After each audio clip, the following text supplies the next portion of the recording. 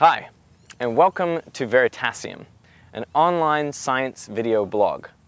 I'd like to take on scientific topics all the way from the simplest to the most complex.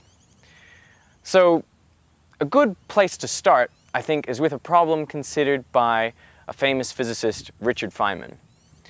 He asked, if all the world's scientific information except for one sentence were destroyed in some cataclysmic event, which single statement would contain the most scientific information for future generations? His conclusion was that it is the, the atomic, atomic hypothesis.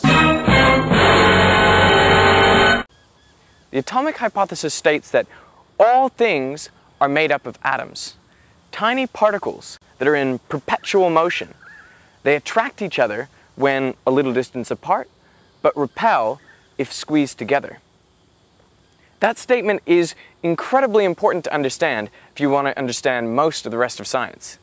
Because everything is made of atoms, including you and me and the Opera House and the Harbor Bridge and the water and the trees and the grass and the air and the clouds and, well, you get the idea. Everything is made out of atoms. So it's really important to understand the atomic concept if you're going to understand the rest of science. The idea that everything is made of tiny particles has been around for thousands of years. The oldest recorded texts are in uh, Greece and India.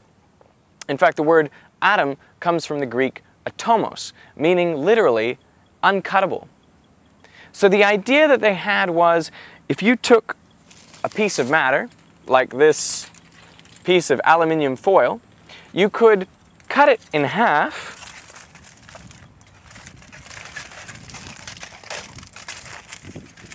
and in half again, each time reducing the number of atoms by half. But the idea was you could not go on doing that indefinitely, for there would come a point when you have only a single atom left, and it is uncuttable.